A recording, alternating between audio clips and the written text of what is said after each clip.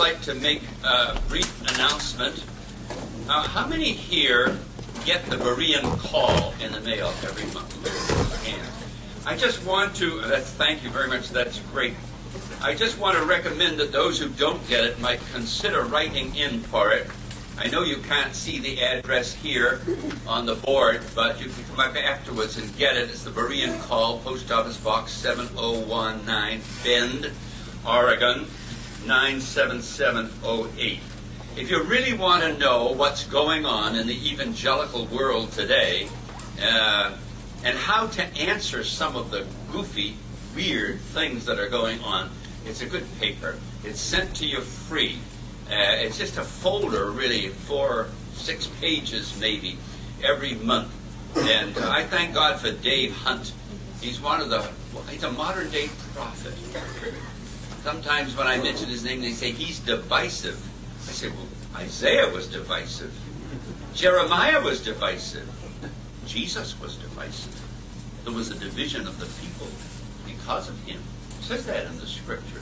Anybody who's going to be true to the Word of God will be accused of being uh, divisive. But Dave really stands for the truth of the Word of God.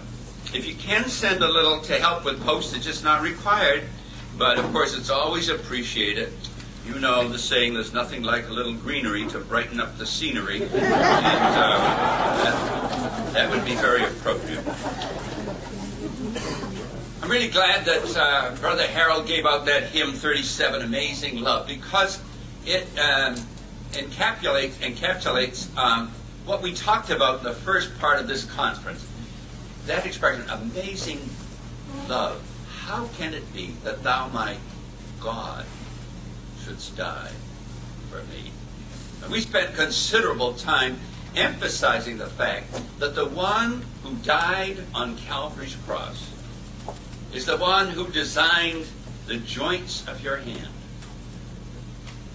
The one who gives you the breath that you're breathing right now. Who sustains your life. The one who died for you on that cross of wood is the incarnate God. And I'm going to tell you, if that truth will really grip us, we'll never be the same again. We'll never be the same again. We talked about who he is. We talked about what he did for us. We talked about the people for whom he did it. And we were rather shocked at the x ray of ourselves, I think. And then we talked about the marvelous blessings that have flowed to us as a result of that. And we realized, I think, by when we came to, uh, to an end of all of that, that this requires a response from us. And of course, the response it requires is if the Lord Jesus did that for me, I belong to Him. I'm His to do whatever He wants to do with me. And we quoted that verse I have seen the vision, and for self I cannot live. Life is worse than worthless unless all I give. And I'd like to emphasize again to you that really, in the light of Calvary, what the Savior did for us, it's nothing short of blasphemy to hold back anything from Him. The response required is total uh, commitment. And then we said that this is a thread that goes all through the Bible. And, and this morning I hope that our hearts were subdued when we thought of one of the greatest illustrations of commitment in the Word of God, where that dear man Abraham went up to the ridge mount, to the ridge Moriah, to offer his son as a sacrifice to God, as a burnt offering to God. It's just incredible, isn't it? Just incredible when you stop to think of. He really loved God, didn't he? He really was devoted to God. He was really consecrated to God when he would be willing to take the darling of his heart, the thing he prized more than anything else in all the world, his unique, well beloved son, off to offer him up as a burnt offering to God. So we want to continue tonight and explore that subject, follow that thread through the Old Testament, let's say, of commitment to the Lord. And it's going to bring us, first of all, to Leviticus chapter 1. This was alluded to in the breaking of bread. I was rather interested this morning. the burnt offering. And it links very nicely with what we had this morning Abraham and um, Isaac going out up to Mount Moriah. We just read a, a first a few verses in the first chapter, Leviticus chapter 1. Verse 2 Speak to the children of Israel. Say to them, When any one of you brings an offering to the Lord, you shall bring your offering of the livestock, of the herd, and of the flock. If his offering is a burnt sacrifice of the herd, let him offer a male without blemish. He shall offer it of his own free will at the door of the tabernacle of meeting before the Lord. Then he shall put his hand on the head of the burnt offering, and it will be accepted on his behalf to make atonement for him. He shall kill the bull before the Lord. The priest Aaron's son shall bring the blood and sprinkle the blood all around on the altar that's by the door of the tabernacle of meeting. He shall skin the burnt offering and cut it into its pieces. The sons of Aaron the priest shall put fire on the altar and lay the wood in odd order on the altar. Then the priest, Aaron's son, shall lay the parts, the head, and the fat in order on the wood that is on the fire upon the altar, but he shall wash its entrails and its legs with water. The priest shall burn all on the altar as a burnt sacrifice, an offering made by fire, a sweet aroma to the Lord. Now, I know that in our assemblies, and I'm grateful for this, when we think of the burnt offering, we immediately think of the Lord Jesus Christ. This points forward to the Lord Jesus and what he did there on Calvary's cross, where he was totally consumed by the fires of God's judgment in consecration to God the Father. But I'd like to think with you tonight, not so much along that line, what did it mean to a Jew in those days? What did it mean to a Hebrew when he uh, made this offering uh, to the Lord. Well, let's use a little sanctified imagination here. Here we see a Hebrew, and he's coming around the enclosure of the tabernacle, and he comes to the entrance. He has a young bullock, a, a rope around the bullock's neck, and uh, probably the bullock is a bit reluctant. Don't blame him if he is. And he's rather dragging this bullock, and they come through the entrance, and of course, the first thing they come to is the altar there the brazen altar. The fire is going, of course, in the altar. Maybe they can just feel the heat as they uh, pass by it. And what's going through that Hebrew's mind when he's doing this? Well, I'll tell you what he's going, what he's thinking about. He's thinking about how good the Lord has been to him. You know, he's been rehearsing the benefits of the Lord to him. And once again, I remind you, he didn't have a New Testament. He didn't live on this side of Calvary. But he, he was like the psalmist who said, Bless the Lord, O my soul, and all that is within me. Bless his holy name. Bless the Lord, O my soul, and forget not all his benefits. That was the language of his heart when he was bringing that animal to sacrifice it to the Lord. He was thinking of the steadfast love of Jehovah. He was thinking of the mercy of God and the grace of God in his heart was absolutely filled with gratitude as he thought about it. And uh, he remembers that the animal that he's going to offer must be a clean animal. Uh, that is, it must chew the cud and have a cloven hoof. The chewing of the cud, of course, speaks of the meditation of the Word of God and the cloven hoof of a separated life. Oops. Sorry, that's kind of a forbidden word today, isn't it? Separation. Oh, yeah, you don't talk about separation today. No, no. It's all ecumenical uh, talk today. The animal must be without blemish, and now he's going to offer it of his own free will to the Lord. So he passes through the entrance, I say, of the curtained enclosure, and he comes immediately to the brazen altar. And holding the rope in his left hand, he places his hand on the head of the animal. What is he saying well, first of all, he's identifying himself with the animal.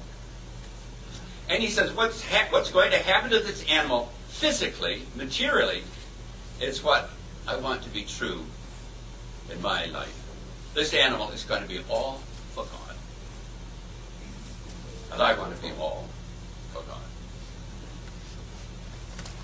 If he had been living today, he might say, Thou hast bled and died for me. Henceforth I will live for thee. That's the burnt. That's the burnt offering. At this point, he probably ties the legs of the animal, rolls it over on its side, and ties its legs front and aft. And then he takes a well sharpened knife, and with one deft stroke, he runs the knife across the throat of the bullock. And a priest is there. The priest catches the blood uh, from the animal's neck and uh, sprinkles it on, on the altar. A few death spasms, and then the animal lies motionless. And then the animal is skinned, and the skin is the only part that's not put on the altar. See, I like to give, I'm still a teacher at heart, and I like to give assignments. The assignment is why isn't the skin of the animal included in the burnt offering? Okay, now you have your assignment. Um, having faced the problem, let us go on bravely. The offerer uh, skins the animal, cuts it in pieces, and the priest lays the pieces upon, uh, upon the altar. And this is the unique feature of the burnt offering. It is wholly consumed. You know, in some offerings, the priest got part of the meat and the offerer got part of the meat, but not in this one. This is all for God. The dismembered parts of the animal are burnt upon the altar and until the whole carcass is consumed, all but the skin. And as I say, this is a wonderful type of the Lord Jesus and his total consecration to the Lord, but that's not what the man is saying here. I think the New Testament equivalent of this would be Romans 12, 1 and 2. I beseech you, therefore, brethren, by the mercies of God, that you present your bodies a living sacrifice. This was a dead sacrifice. Huh? That you present your bodies a living sacrifice, wholly acceptable unto God, which is your reasonable service.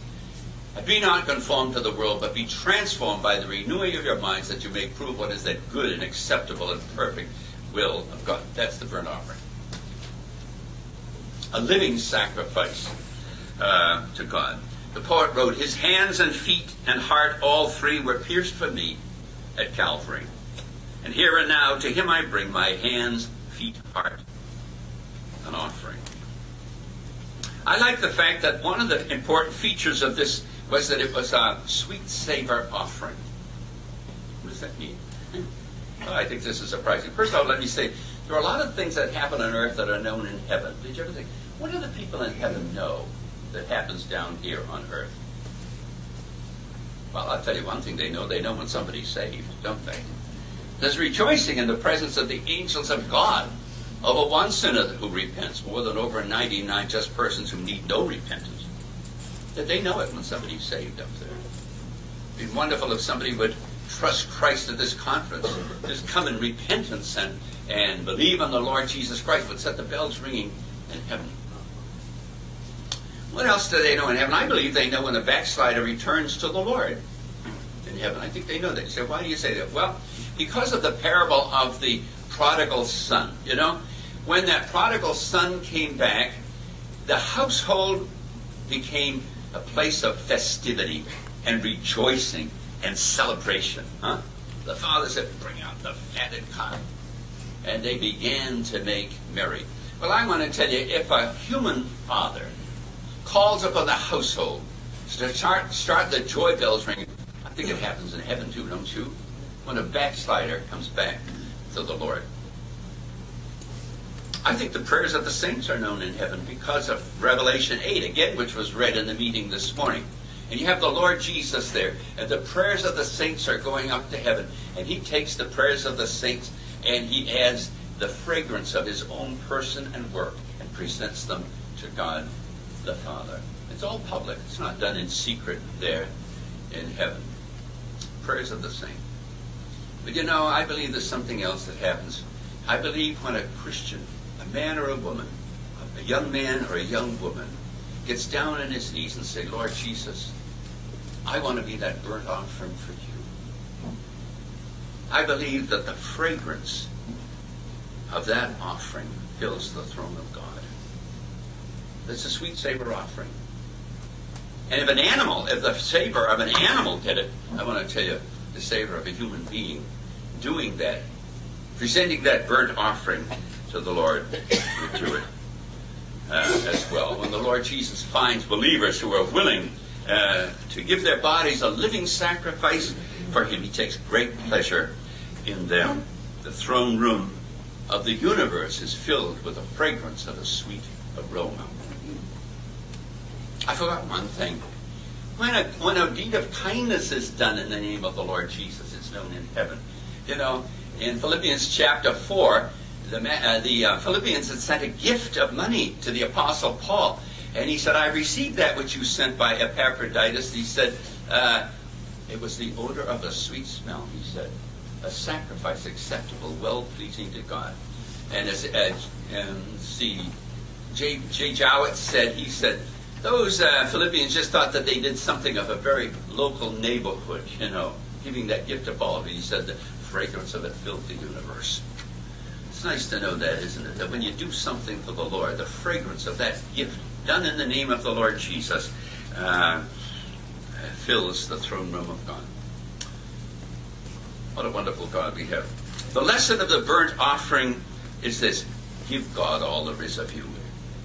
My, I say that to you young people that are here tonight. Give God all that there is of you. Let people call you a fanatic. I say be a fanatic for Jesus. Give him every part of you. All for Jesus, all for Jesus, all my beings ransomed powered. All my thoughts and words and doings, all my days and all my hours. Let my hands perform his bidding. Let my feet run in his ways. Let my eyes see Jesus only. Let my lips speak forth his praise. That's the burnt offering.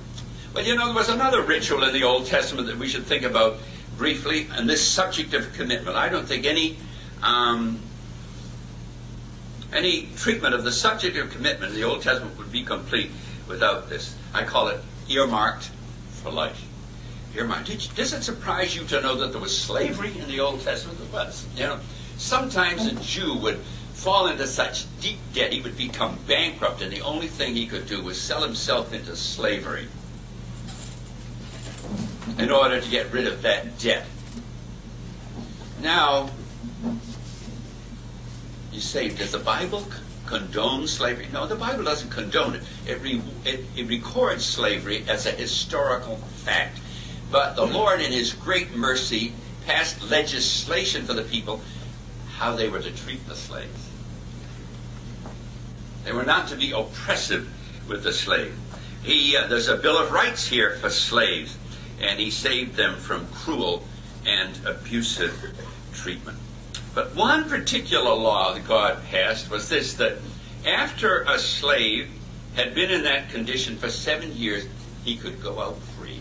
He could go out. You know, that was something, no matter how hard his labor was, it was wonderful to think, six more years, five more years, one more year, and then I'm a free man. But the Lord realized too that some of those slaves would realize they had a good master. They had a good master. And they realized that they were better off with that master than they would be out on their own.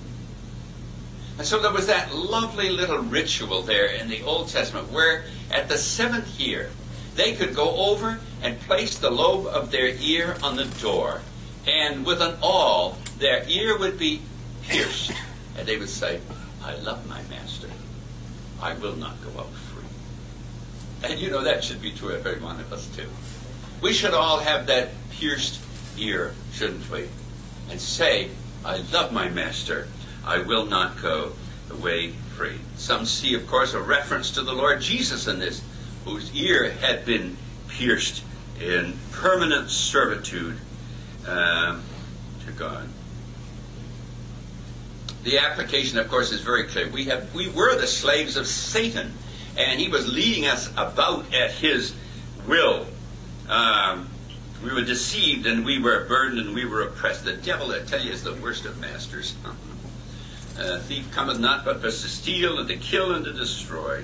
Jesus came that we might have life and that we might have it more abundantly. We met Jesus, and He delivered us from that terrible dominion of the evil one. He's, dear friends, the Lord Jesus has been good to us beyond imagination, hasn't he? Beyond imagination or calculation. And you know, the interesting thing is we can go on living, after all he did for us, we can go on living for ourselves. Again, we can go on living for our own pleasure. We can go on doing our own thing if we want. We can live for material things. We can live as if making money was the only important thing in life. Or we can go to the door, as it were, and say, just earmark me for life. I think that's where the word earmark came from, don't you? Just earmark me for life. Blessed Lord Jesus, I want to be yours forever and forever. Bishop Handley Moule, I think, captured the thought of the um, the piercing of the ear in these words: "My Master, lead me to Thy door. Pierce this now willing ear once more. Thy bonds are freedom. Let me stay with Thee to toil, endure, obey. Yes, ear and hand and thought and will, use all in Thy dear slavery still." I like that.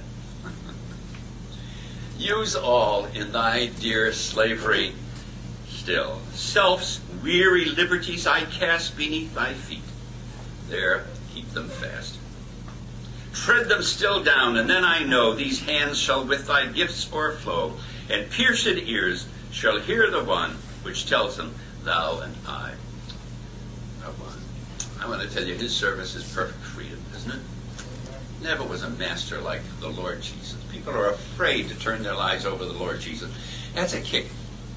There are people here tonight, I believe it, who who can turn over their souls to the Lord for eternal salvation.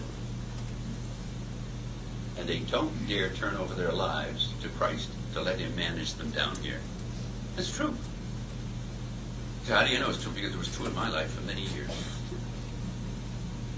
You can trust the Lord Jesus. You have faith to trust the Lord Jesus for the eternal salvation of your soul. You don't have faith to let Him control your life down here on earth.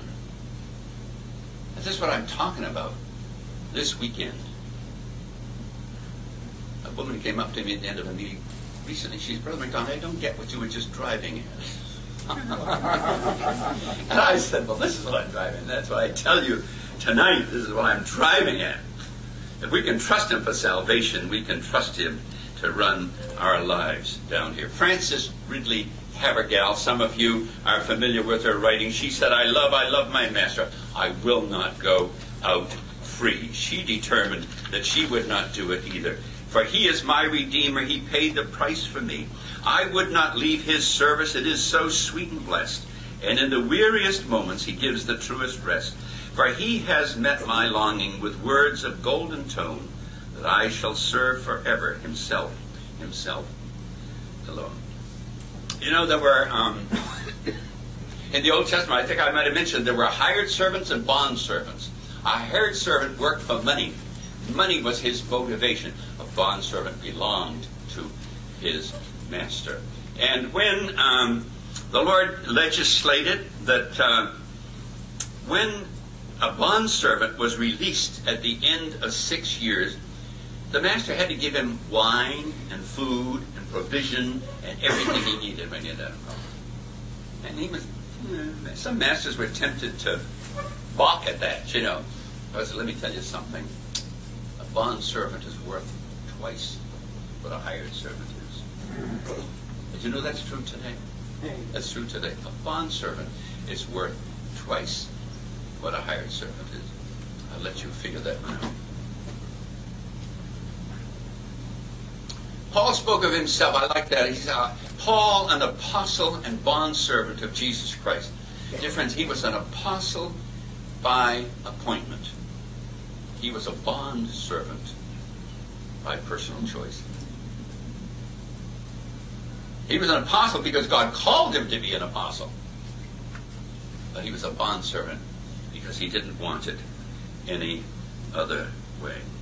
So remember that those who serve the Lord Jesus Christ out of a heart of love are worth twice as much as those who suppose that godliness is great gain. We go on in the Old Testament. Commitment. Commitment in the Old Testament. You know, No subject on this, no um, dissertation on this subject is complete unless you bring the, the ladies into it. Because I really believe that, in general, in the history of the Christian religion and of Judaism too, ladies shine out with greater luster than men. True in the New Testament, certainly, isn't it? Those who followed the Lord, the Lord Jesus. And um, the culture in the Old Testament was very demeaning to women but many of them rose above that to show the world what true devotedness really is. And two of them were ladies, two of those ladies, each of them has a book in the Bible named after her. I think that's great. We're talking about Ruth and Esther. Ruth is really a bright star in the galaxy of the committed ones.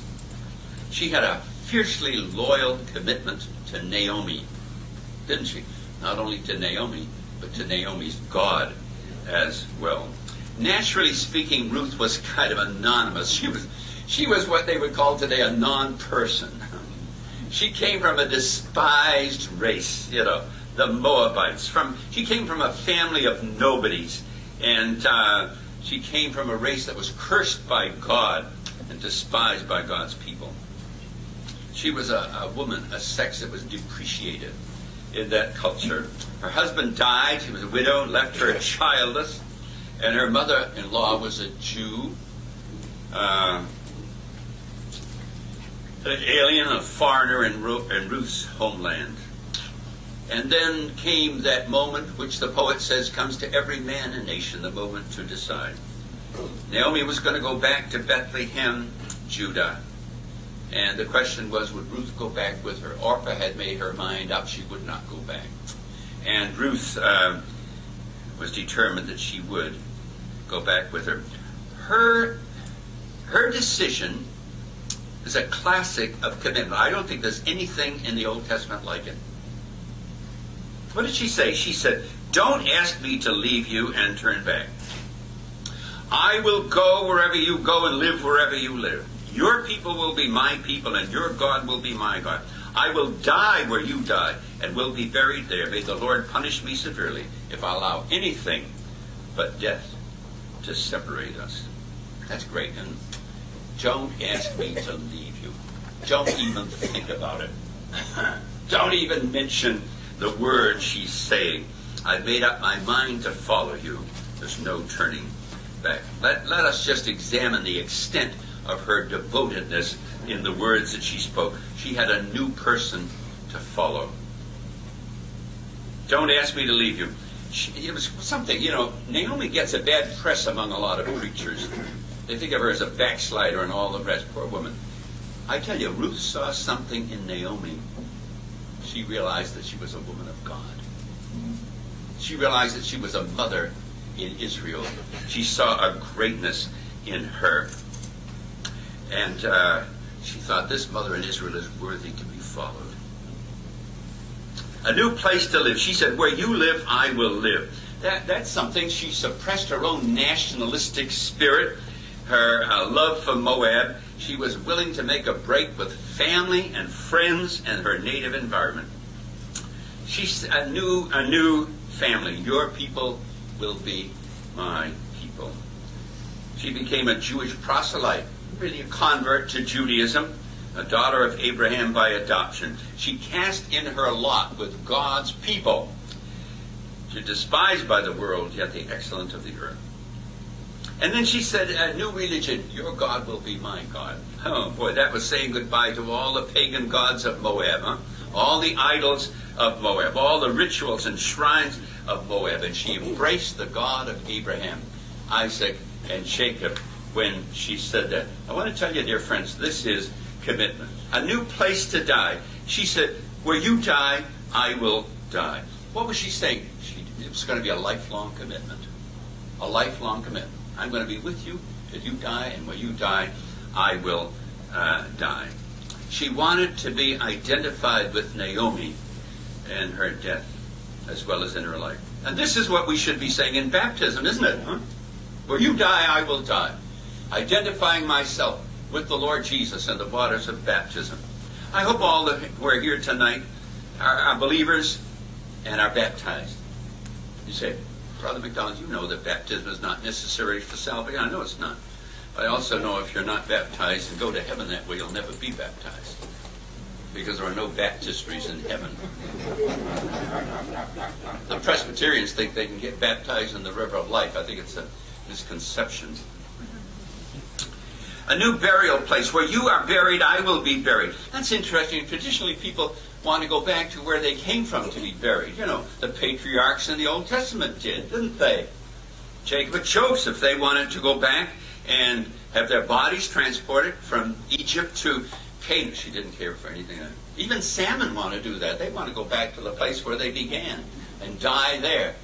Ruth didn't want that. Where you're buried, I will be buried. Here she was, a, a, a obscure young widow. She committed herself without reservation to the God of Israel. As a result, she married a man of outstanding character. She became an ancestress of the Messiah. She had a book of the Bible named after her. Dear friends, you never know the day you commit your life to the Lord Jesus for service, what great things He has in store for you. when Ruth made that decision, she had no idea of what God had planned for her. Just think of that. Married to Boaz, it's a great thing. Came right into the line of the Messiah.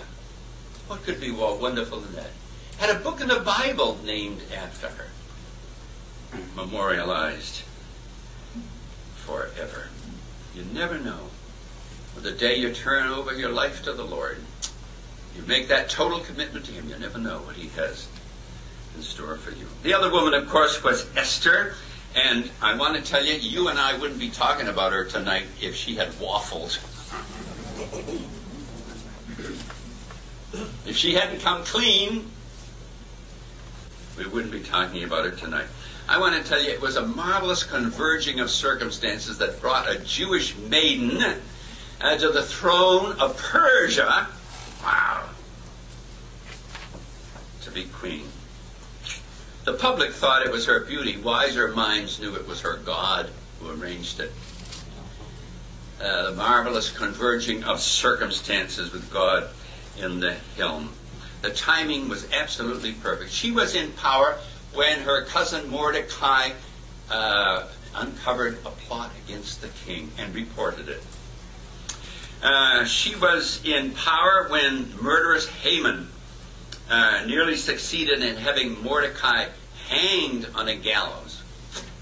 And she was in power when that villainous anti Semite had uh, succeeded in having a decree written that the Jews in the kingdom would be exterminated. She was in power. The name of God is not mentioned in the book of Esther, but God is very prominent in the book of Esther. He's behind the scenes, keeping watch about his own. Now the spotlight is on Esther. Would she go into the king and plead for her people and for herself? Because her fate was linked with the fate of her people. There were two problems. To approach the king, even if he was her husband, to approach him, if he didn't hold out the golden scepter it was death for her to approach the king. I suppose this was to protect the king against assassins, don't you think so? To protect the king against assassins. But the other thing was that, that they had not had marital uh, relations uh, for a month. So really, it was, what shall I say, it was risky for her to go before the king. If you leave God out, it was risky.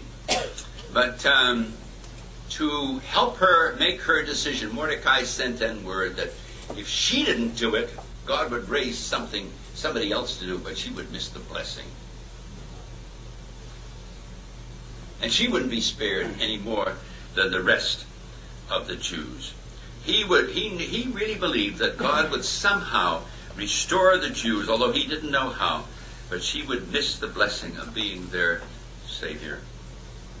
And then he topped his appeal with those memorable words, Who knowest but thou art come to the kingdom at such a time as this? You know, I think that's a word we can take to ourselves. How do you know? But you've come to the kingdom for such a time as this. How do you know if you turn your life over to the Lord, if you might not be God's key in certain situations in life? I believe it with all my heart. Well, that was all Esther needed. She called on her on her assistants from the Jews on the citadel. She called on them to fast for three days. And it doesn't say to pray, but I tell you, you don't fast without praying, do you? So fasting and prayer for three days, and then she she said, "I'll go to the king." She said, "If I perish, I perish." That's commitment. She was laying her life on the line for the Lord. Uh, if she hadn't made that decision, we wouldn't be talking about now. It paid off. The king showed grace to her.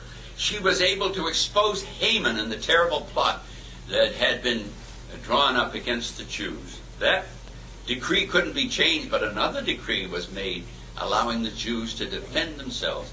And they, their victory was great when the appointed time came, and God even gave them extra time from mopping up operation. Lesson Commitment to Christ, to God, receives its greatest test in the fires of adversity. Receives its greatest test in the fires of adversity. We move on. I just want to mention Caleb briefly. Caleb, that guy. They say old soldiers don't die, they just fade away. Well, this is an old soldier who didn't fade away. When he was 85, when he was 85, he said he wanted a Hebron. He said, Give me this mountain. I like that, don't you? You're never, you're never too old to be obedient to the Lord. You're never too old to be committed to the Lord. He wanted to drive the Anakim out of Hebron. Remarkable words for an 85 year old soldier who could have been fading away in quiet obscurity. Listen to the commit. Listen to um, the tribute that's paid to Caleb. He wholly followed the Lord God of Israel. What an epitaph! Huh? He wholly followed the Lord God of Israel. Then, of course, it was Jonathan. I like Jonathan as a illustration of commitment the Old Testament. He's committed to David. Jonathan was next in line to the throne. He was to succeed Saul, but he knew that David was God's choice. And he took off his robe, the robe signifying that he was heir apparent to the throne. And he gave it to David. I want to say that's commitment? That's really commitment.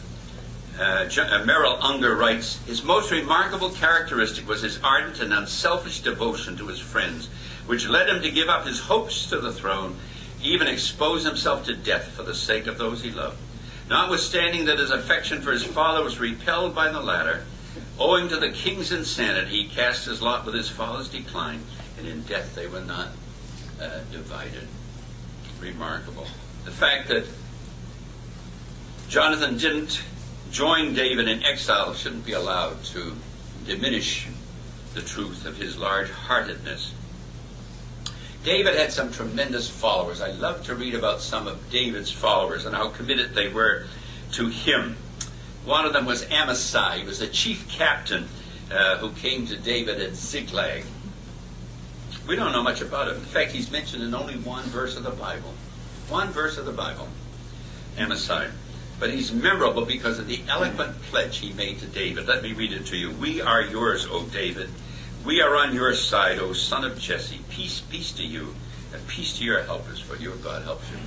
Did you think that pleased David when he heard it? I think so. Do you think it pleases the Lord Jesus when we say that to him? We are yours, Lord Jesus. We're on your side, O son of David. I think the Savior's heart beats just a little faster when he hears us say that to him. Ittai was another soldier who was sold out to the king, a Gentile. this is great. A Gentile. You wouldn't expect a Gentile to be that loyal to a Jewish king, would you? But he was. And when David fled from Jerusalem as a result of Absalom's treason, the king tried to dissuade Ittai from going uh, with him into exile. And what did Ittai. He said, As the Lord lives, and as my Lord the King lives, in whatever place my Lord the King shall be, whether in life or death, even there also shall your servant be. And then, of course, there were the three valiant soldiers who were with David there in the cave of Adullam.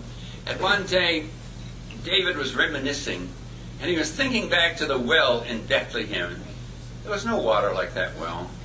You know how it is, you think back to your childhood and how things tasted, how things were when you were young, and, and he, he just let that sigh slip out from his lips.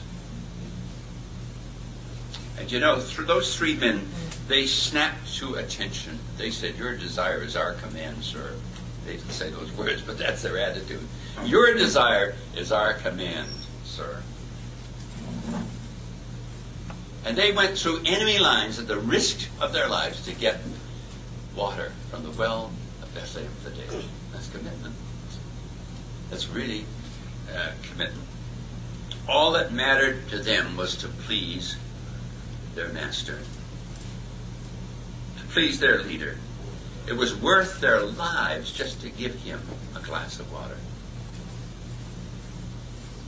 It'd be nice if we loved the Lord Jesus like that, wouldn't it?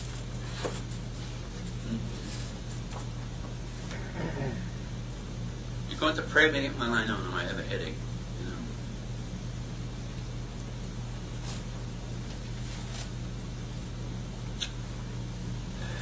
David was so pleased with it. Did he drink it? No, he didn't drink it. It might seem like ingratitude on David's part, but it wasn't. He poured it on the ground. He said, Far be it from me, O Lord, that I should do this. Is not this the blood of the men who went in jeopardy of their lives? I want to tell you, if David was pleased by that act, how much more pleased the Savior must be. David's greater son must be when he finds that type of commitment among his followers. You know, the Lord Jesus is thirsty tonight. Did you know that? He's thirsting for the souls of men in Africa and Asia and South America and other parts of the world. I want to tell you, it pleases his heart. When he sees people who are committed and are willing to leave all to follow him there. Another man I have to mention, he's one of my favorite characters in the Old Testament, Uriah. Uriah. He was one of David's uh, soldiers, he was a Gentile too.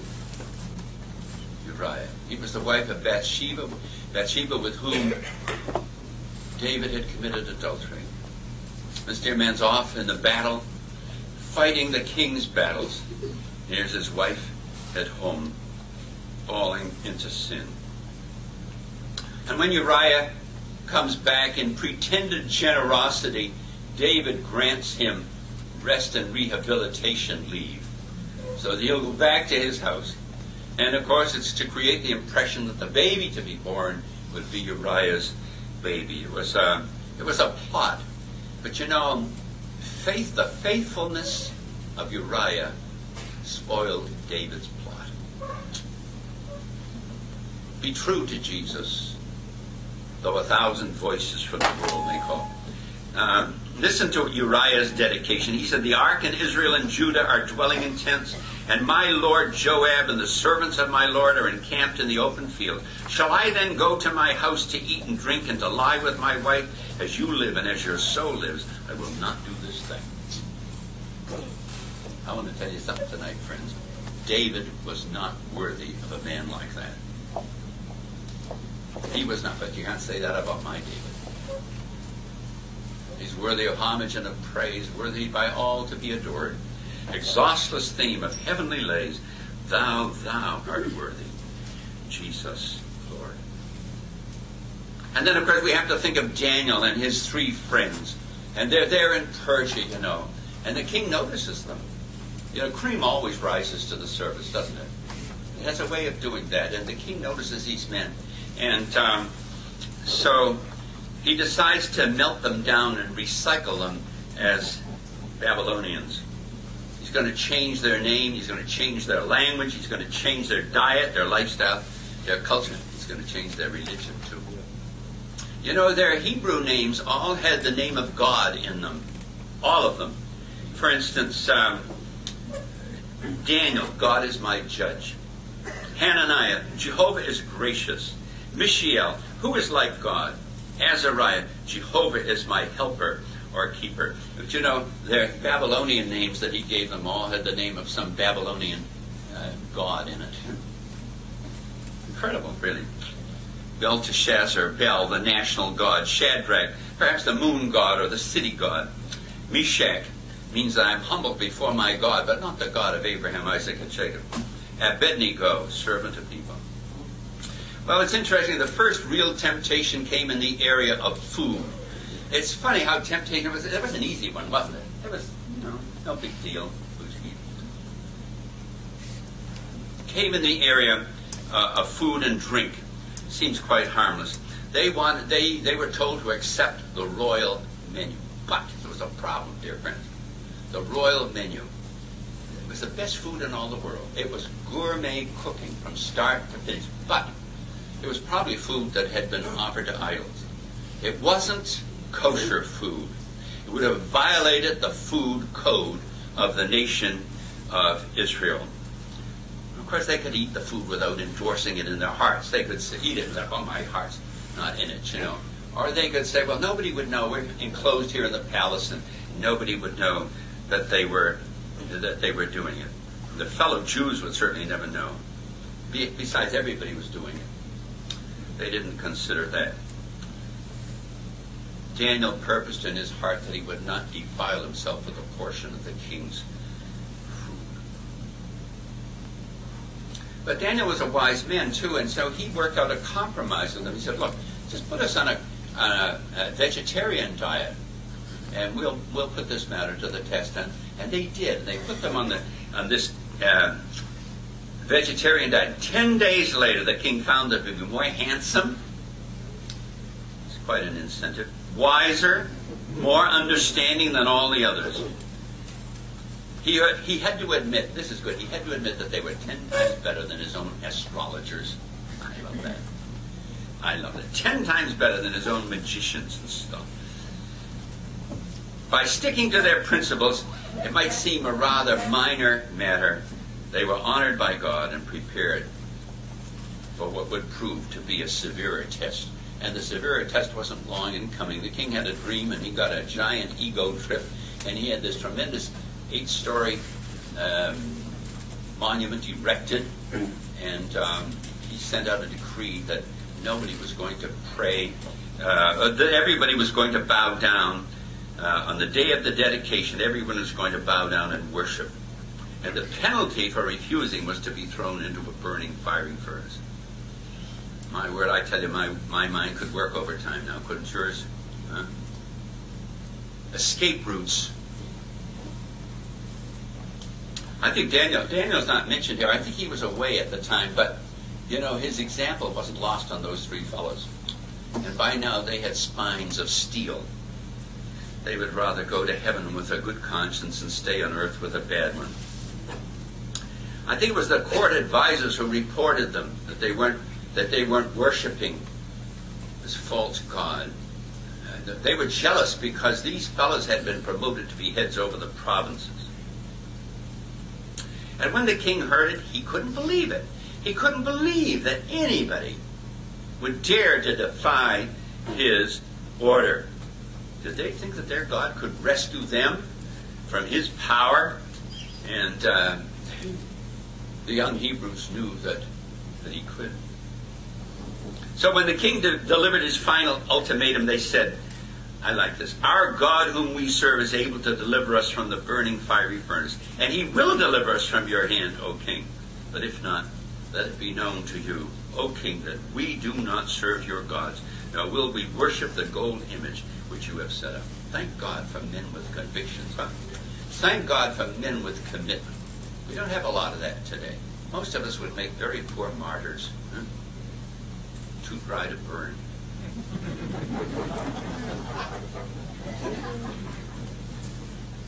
But they knew that it was better to burn than to compromise. Better to die than to deny their principles. The king was livid with rage. Livid with rage. He ordered the furnace to be heated to the max and the three young nonconformists to be thrown in. I tell you, just the prospect of that is enough to induce cardiac arrest, isn't it? Is your heart beating a little faster when you read about that? But notice what happened. This is beautiful. The flames killed the executioners that threw them in. The three young men weren't deserted by the Lord. He was with them there in the fire. I like that. You know, what does a hot fire mean if the Lord's with you? It doesn't mean a thing. All the fire did was destroy the ropes that burned them. When they came out, their clothing was not burned. Their hair was not singed. There wasn't even the smell of smoke upon them. My, what a discerning, discriminating fire. What happened? The king made an edict honoring the God of these Hebrews. Yeah. Man has his wickedness, but God has his way, doesn't he? God has his way. And he threatened death to anyone who spoke against the God of the Hebrews. He also promoted three fireproof men. Spurgeon says, if you yield an inch, you're beaten. But if you will not yield, no, not the splitting of a hair, they will respect you. The man who can hide his principles and conceal his beliefs and so do a little wrong is a nobody. You can't shake the world if you let the world shake you. That's good. Archimedes said that he he could uh, move the world if he could get a fulcrum outside the world, you know? But the key to that statement is outside the world. You can't move the world as long as you're a part of it. You have to be separated from the world in order to move the world. And just finally, in closing, Daniel, uh, the den of lions, Daniel is now between 80 and 90 years old. Can you believe it? Between 80 and 90, he's a powerful kingdom in the uh, powerful figure in the kingdom of Persia. And his jealous colleagues wanted some way to get rid of him. But they knew that he was a man of sterling character. How in the world would they ever find some valid charge against his spotless character and conduct made it very, very difficult. But it, it was an unintended tribute when they concluded the only way to get rid of him was to outlaw prayer to his God. That's marvelous, isn't it? Daniel preferred a den of lions to spending a day without prayer to God. He preferred the den of lions. So an unchangeable law is passed. In the next month, anyone who prayed to any god or man except King Darius would be thrown to the lions. Daniel couldn't think of a single good reason why he should stop praying. I could have thought of a few. Three times a day he knelt in his room, facing toward Jerusalem, giving thanks and making earnest supplication. That wasn't all. He, he knelt by an open window. Why? He had always done it. Why should he change now? It wasn't that he began to pray by an open window. He always did it. And since his colleagues were looking for a chance for to find him breaking the law, they didn't have long to wait. Nothing was done in secret. Daniel didn't pray under his blanket. he didn't pray silently in his heart. Prayed out loud in full view, and the reluctant king had no alternative. He had to be thrown. Uh, meat for the lions. But wait, Daniel is having a good night's sleep down there. And the king is having a king-sized case of insomnia. That's the way it is. That's exactly, that's exactly what happened. In the morning, God's man came out in perfect condition. God had shut the lion's mouth. His accusers were slain, and his God was honored by a royal decree. Have times changed? No, they haven't changed. Still the same God, yeah, still the same God. Think of the glory that came to God as a result of Daniel's commitment. That man knew nothing of what Robert G. Lee called invertebrate theology, jellyfish morality, seesaw religion, India rubber convictions, and somersault philosophy. Those committed ones had convictions for which they were willing to die. Their dedication to the Lord was final and irre- irrevocable. For them, the will of God was paramount. They had nothing but contempt for escape groups, escape routes, for easy alternatives, for excuses. In life or in death, they were the Lord's. God is looking for men and women like that today. In a day when things are sliding, in a day when doctrine is discounted, doctrine divides, the great thing is just unite, you know, get together, unite. God is looking for men and women who will take a stand for Him